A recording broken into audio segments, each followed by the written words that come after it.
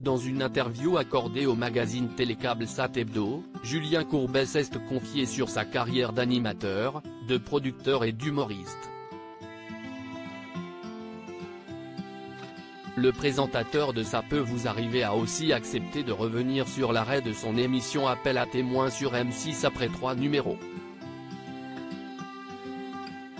Après avoir occupé pendant plusieurs années la place de chroniqueur dans Touche pas à mon poste sur C8, Julien Courbet a rejoint M6 en 2018 à la présentation de Capital.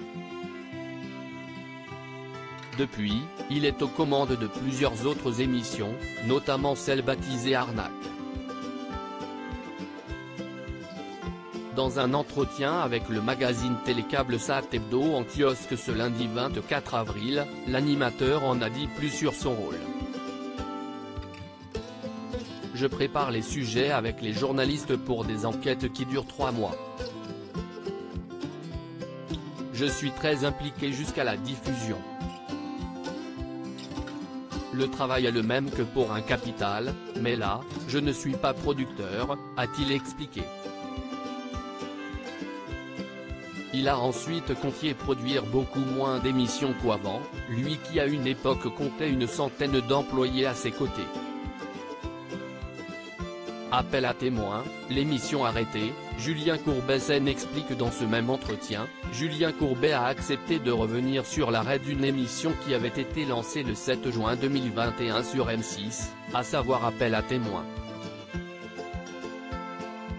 Avec Nathalie Renou, le présentateur venait en aide à des familles victimes d'affaires non élucidées en lançant des appels à témoins en direct.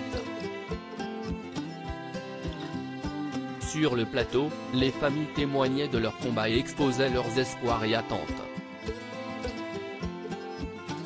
La diffusion de l'émission s'est stoppée après trois numéros. Faute d'audience lui ont demandé nos confrères de Télécable Sat Hebdo. À quoi il a répondu, non, ça n'a pas été un carton, mais pas un bide non plus. On n'a pas réussi à trouver la bonne formule, si est tout.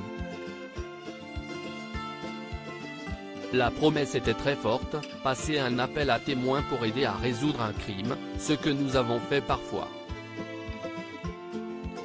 Ce que la police et la gendarmerie ne voulaient pas dévoiler dans l'émission il a ensuite évoqué ce qui, selon lui, a fait que le programme n'a pas suscité plus d'intérêt que ça chez les téléspectateurs.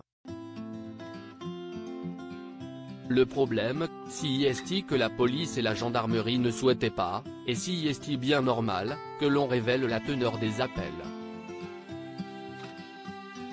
Ainsi, l'émission était déceptive pour les téléspectateurs car il n'y avait pas vraiment de suspense, a-t-il expliqué.